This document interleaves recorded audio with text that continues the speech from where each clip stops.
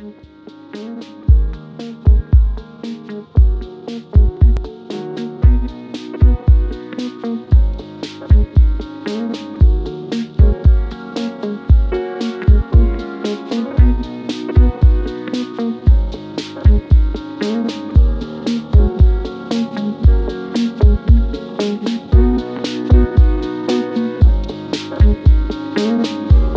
here to plant a seed today, a seed that will inspire you to move forward in life with enthusiastic hearts and a clear sense of wholeness. Now, fear is going to be a player in your life. You get to decide how much. You can spend your whole life imagining ghosts, worrying about the pathway to the future, but all there will ever be is what's happening here and the decisions we make in this moment, which are based in either love or fear. So many of us choose our path out of fear disguised as practicality.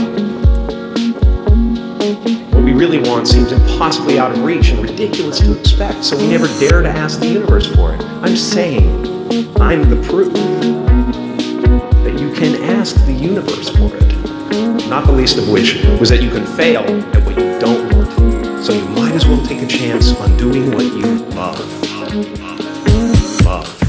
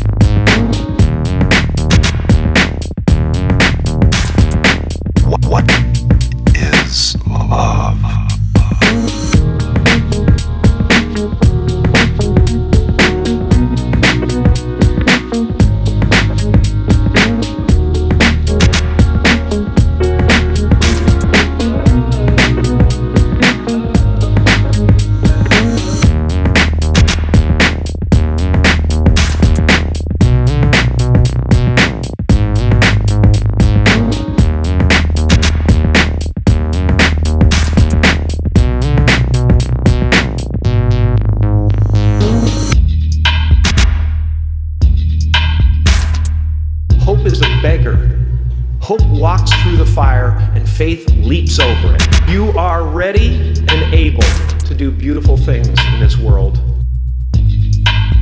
And after you walk through those doors today, you will only ever have two choices